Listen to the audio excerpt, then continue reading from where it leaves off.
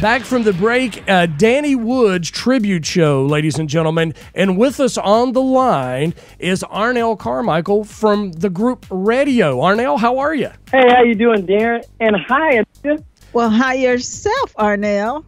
So, Arnell, how was Danny Woods an influence in your life, and how did all that become to be? My uncle would tell us about my father because we never really met him, and how Danny came into play was is that all of these people knew each other. So my uncle used to say, "Well, you guys, you got to be like the chairmen of the board," you know. And I think they had "Pace the Piper" and right, some other right, songs. right. So these songs were like really big, and as we were growing as the Carmichael movement, he used to always talk about Danny Woods singing "Oh Danny Boy." Right. So we, so we, as we grew from the twenty grand and on and on, and met more people, he takes us to Henry's Cocktail Lounge.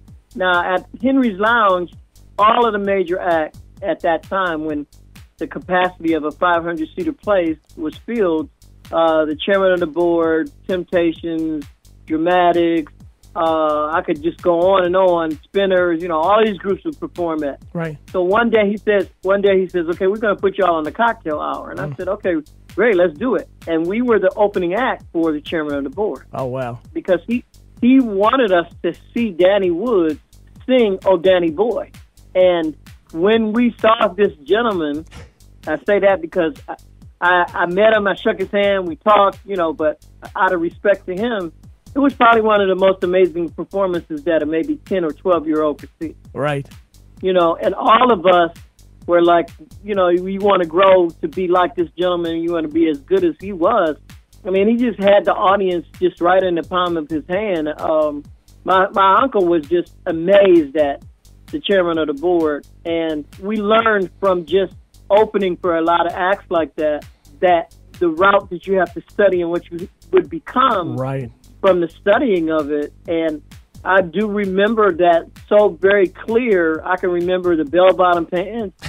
they had on like a green shirt, green green suit with with like this yellow. I could see it all in my head, you know, uh, and how they stepped and how they performed the, the whole show. So my uncle and Danny Woods became friends, but uh, in terms of us being as young as we were, we just knew if we could sing like that, we would be okay. You. Incredible. Well, the know. energy that Danny had then too. Now I don't know about old Danny Boy, but the energy that he had with the chairman was was such a big thing. I mean, he was just just full of it. if you saw him sing that song, dude, believe me, him singing old Danny Boy," the crowd was cheering by the time he got to the second verse. You know, it was just just something so amazing.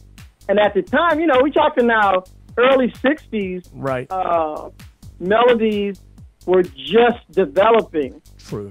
you know. Uh, to me, I don't know how anybody else thinks of it, but this gentleman, uh, Danny Woods, as a singer, you know, you, when you don't have Motown backing you, but then you have Holland Dozier Holland, Holland, right. HDH, that's a whole different thing because the attention that you want to get and that you really need is just a matter of money. But Exactly. but in his case, he had he had the same equal talent as any of the other major acts that was out there, and they still went on to sell and create their own independence, and that's not easy to do. No, it's not. So Arnell, let's give them the song right here. This is Raydio. First song I ever sang on. This is our single from 1978. Arista picks this up, and here's the first single, Jack and Jill, from the group Raydio. Myself and Jerry Knight singing.